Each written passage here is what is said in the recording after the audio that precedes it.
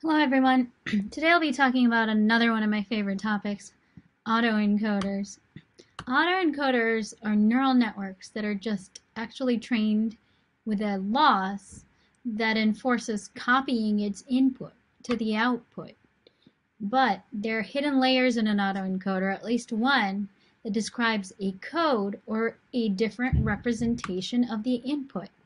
So autoencoders are often described as having two parts an encoder that takes the original input and encodes it into the code layer Z, and a decoder that takes the code Z and performs a reconstruction or decoding back to as close to the original input as it can get.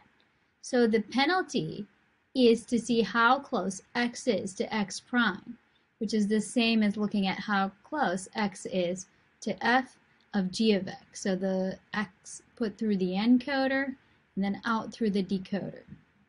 So this loss penalizes the reconstruction from being dissimilar from the input. And usually this is enforced as a mean squared error of the original input with a loss. And this might be your first example of a self-supervised loss. Since neural networks are sort of designed in a supervised paradigm, when we use them in an unsupervised fashion, we would use this type of self-supervised loss. And if you go to my neural networks class, you'll see that there are several self-supervised losses these days, but this one is maybe the most famous of them. So how do you actually train an autoencoder? You train it the same way as every other neural network, just using backpropagation. So this is what a schematic of an autoencoder typically looks like, though not always. So you have the input layer here. And then subsequently you go down and reduce the dimensionality until you're at your so-called informational bottleneck code layer. This layer is providing an informational bottleneck for the decoder, meaning anything that the decoder produces has to come from the information in this layer, and that is forcing this layer to create a meaningful embedding.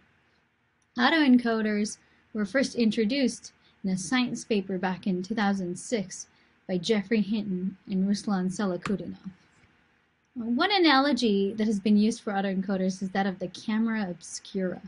You can think of this as a renaissance version of an autoencoder from back before real cameras existed.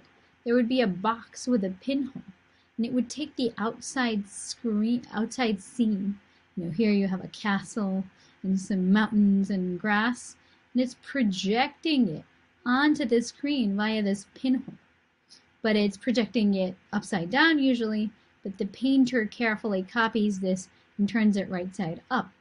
So here you can think of this as an encoding, and this pinhole as the bottleneck, and this painter actually as the decoder. And then the hidden representation, one of them, is here. Um, so autoencoders, as you saw from the camera obscura example, can learn something meaningful if there's a bottleneck in the information. And that's why sometimes these are called undercomplete autoencoders. So this will make the training have interesting properties for the embedding layer Z. Properties some, somewhat similar to the nonlinear dimensionality reduction methods we saw at the beginning of this course. So the reason is because the this is actually a way of reducing dimensions so that you can reconstruct most of the information in the data with fewer dimensions. So this is a form of lossy compression or dimensionality reduction. And in fact, in the special case, when you have a linear decoder, that means a decoder without any nonlinear activation functions, and you're using mean squared error loss, it can be proven that the code layer of the autoencoder learns something equivalent to PCA, or rather it spans the same subspace as n dimensions of PCA if you have n neurons in your bottleneck layer. Of course, usually we don't use linear autoencoders. We use nonlinear autoencoders because we want powerful nonlinear generalizations of PCA, kind of like kernel PCA, or with even more functionality than kernel PCA because neural networks are very flexible and you can penalize them in various ways to learn different uh, embeddings with different features. But one thing you have to be careful of when you're designing an autoencoder is giving it too much capacity. If you don't bottleneck enough, the input can basically actually be copied to the output. And we wouldn't want that. That would result in a fantastic reconstruction, but who cares? The embedding layer isn't learning anything meaningful or isn't reducing the dimensionality.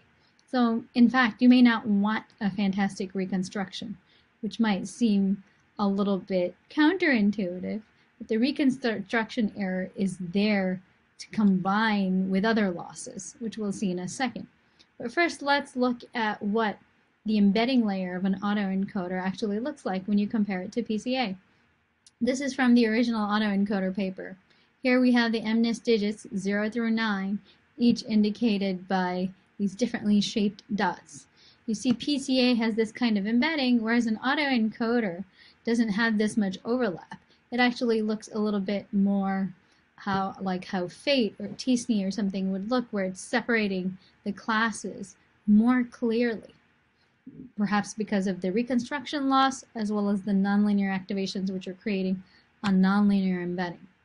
Here's an embedding of documents. This again shows that the embedded documents separate by classes very cleanly and in fact, it shows that if you use the encoding in an autoencoder to retrieve documents based on a key, you get a higher fraction of more accurately retrieved documents. And these results are both in the original science paper by Hinton et al. So let's get back to this idea that you need to regularize an autoencoder. Of course, one of the inherent regularizations is the reduction in dimensionality in the code layer.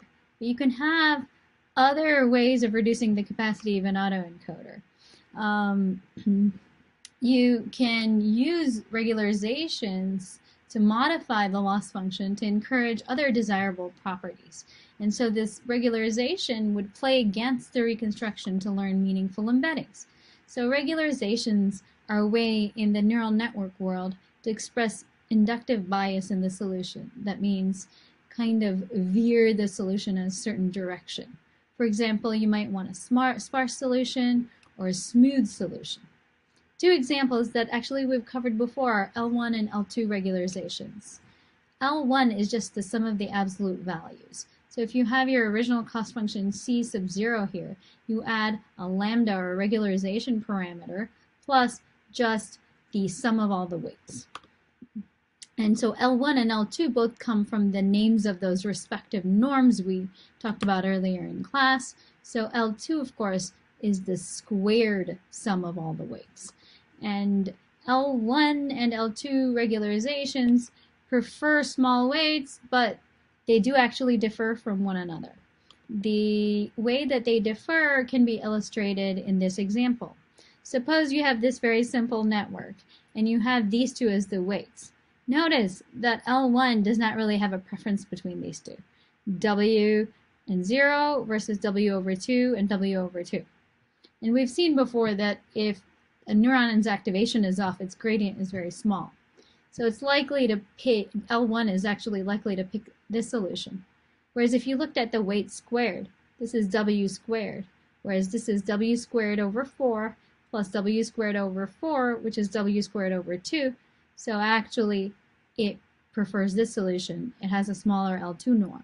So you see that L2 prefers to share weights and have weights all over your network, but have them be low valued, whereas L1 prefers to pick particular weights. So in that sense, you can see that L1s select specific features and have sparsity in their neuronal activations, whereas L2 gives non-sparsity, no feature selection, but low weights that are resilient to noise actually. Let's think about autoencoding MNIST a little bit more, just to see different ways we can use autoencoders. Let's say this is the original input, the encoder takes it through. Remember, this dimensionality of this input is very large. It's 28 by 28. you can have a much smaller compressed representation that could be 8, 16, 32 neurons. And then you can decode out. And the remarkable thing is that the reconstructions are usually very accurate, showing that the original dimensions had a lot of redundancy within them. Let's try it with 32 nodes in the hidden layer. And we're using a cross entropy loss per pixel because we have 0, 1 pixel values. And it, this network trained for 50 epochs. And you see what the original looks like versus the reconstructed digit. So um, if you change this neural network and you add an L1 sparsity per layer, now the training loss and the test loss have a little bit of a difference, but the digits actually themselves look remarkably similar. So as it turns out, people have shown that these regularizations don't actually restrict capacity purely per se, but they just give some inductive biases. So what's the difference between these two? Certainly not in the reconstruction. It is in the code layer, which is more sparse in the L1.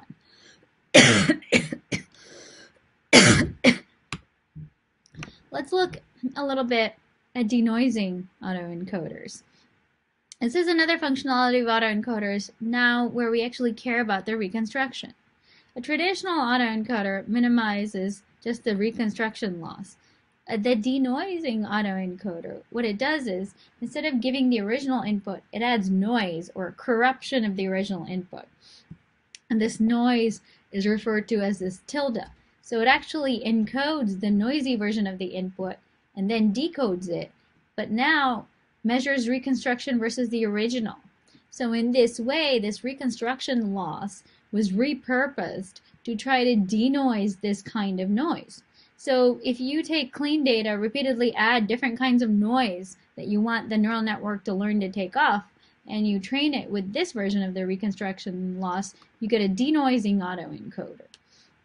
If you model the corruption process uh, as a conditional probability, then what you're actually getting here is you take x, you take a corrupted version. The corrupted version is taken to an encoder and a decoder. And the decoder is measuring the loss with respect to the original neural network. And so it learns how to take off and denoise the, the um, noise from the input, but it also learns what kind of noise is orthogonal to the manifold of the data and what kind of noise is on the manifold. And why does it do that? If you add just some kind of corruption, it moves the data away from the main manifold and this denoising autoencoder learns to push it back. And it says that this is spurious noise variation. Whereas if you actually change the digit or you change the value along the manifold, it will reconstruct correctly.